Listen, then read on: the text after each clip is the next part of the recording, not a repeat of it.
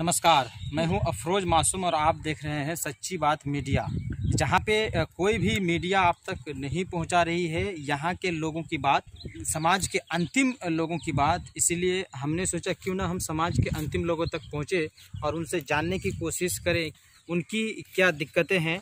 कल मतदान होना है अररिया लोकसभा क्षेत्र में और यहाँ के अंतिम लोगों से हम जानेंगे कि उनको क्या क्या दिक्कतें हैं और भारत सरकार के साथ साथ बिहार सरकार भी बड़े बड़े दावे के साथ वादा भी कर रहे हैं। ये जो दावे कर रही है सरकार इन सबों का फ़ायदा आखिर धरातल पे हुआ या नहीं? किया।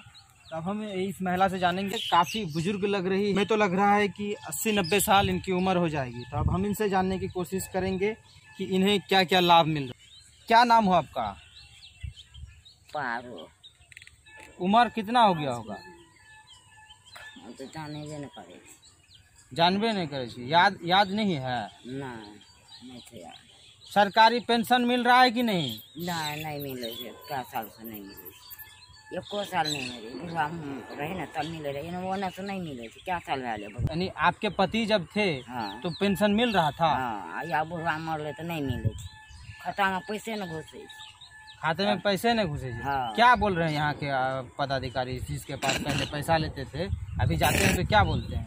कहै छै तोहर खाता पैसा नहीं एलै तब घुरि कऽ चलि छै? आधार कार्ड आब की कर? घुरि कऽ चलि आधार कार्ड बना लिए?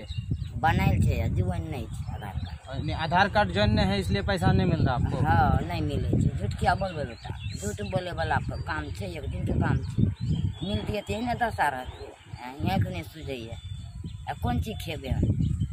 ककरा के बाप, बेटा खिए नहि बोलै। छै दै रहै तऽ पैसा कौड़ी दै रहै तऽ गोली सिया करै रहियै आ चेहरा नहि देखै हमर सरकार। आब की करबै सरकारके कहै छै केहनो के हमरा पैसा घुसत हमरो दू चारि पैसा हुए तऽ खेबो करम, इलाजो करम। के दे, देश के प्रधानमंत्री तो कह रहे हैं कि महिलाओं तक हम गैस चूल्हा पहुँचा दिया गै, गैस कनेक्शन मिला आपको? मिला हमरा। पूछो। सरकार हमरा लोग नहीं छै दुनिया लोग छै सरकार। हाँ, की कर? यानी आप गरीब जैसों के लिए सरकार नहीं है सरकार जो है मर गई। हाँ कहबै भूखल मरे तऽ हम सरकारके नहि कहबै। भैज के हमर बेटा या भतीजा वएह रात ओ हमर बेटा भतीजा हम सरकारे पर छियै नहि दै छै बेटा खाय लए, हमर घरवला मरि गेलै। तऽ हमरा कोइ पोति पाल नहि करै छै, सरकारो तऽ करतै। आँखि नहि सुझै छै बाध नहि जाइ छियै लड़ै बेचै लए आँखि हमर नहि देखै छै, आँखि देखै आँखि हम कन्या खेतियै की सरकार हमरा कऽ बेपत छै, बेटो आर छै, आओर कोइ छै बेपत छै। सरकार हमरो पर आँय। आब की करबै, ओहिने बैठल रहै छी। एक तरफ़ प्रधानमंत्री ये भी दावा कर रहे हैं कि हमने पक्कीकरण किया इंदिरावास सबको दिया। इंदिरा आवास मिला आपको? नहि आब की मिलतै सरकारके मोन हेतै तऽ दिहक नहि तऽ नहि दिहक अच्छा कल यहाँ पे वोट होना है लोग वोट देने जाएँगे। आप भी वोट देने जाइएगा। जेबै की? हाँ तो वोट किसको दीजिए? जाहिमे दस जेतै उएहमे लालटेमे तऽ लालटेने जेबै दस जाने से मतलब नहीं है। आपको जिससे फ़ायदा होगा उसी को नहीं दीजिएगा हाँ हाँ तो ओ- तऽ हमर मन छै कि हाँ तो, तो आपका मन है। हाँ हाँ। लालटेन में तो लालटेन में कतौ बटम दाबि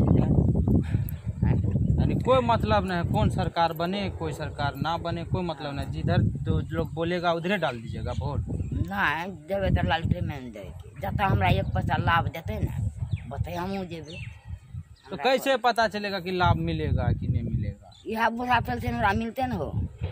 देतै ने सरकार। अच्छा अच्छा। अगर लालटेन की सरकार बन गई तो वृद्धा पेंशन मिलने लगे?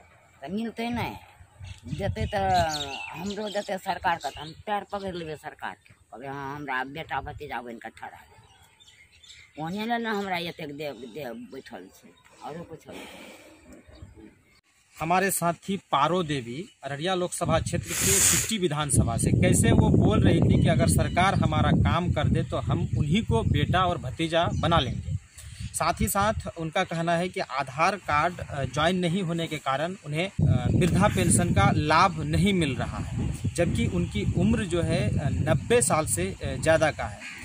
तो सरकार दावे और वादे तो बड़े बड़े कर रहे हैं, लेकिन इसका ज़मीनी हकीकत आप ऐसे वीडियो से देखते रहेंगे हमारे साथ आप जुड़े रहिए, हम आपको ज़मीन की हर सच्चाई सच्ची बात मीडिया में बताते रहेंगे। धन्यवाद।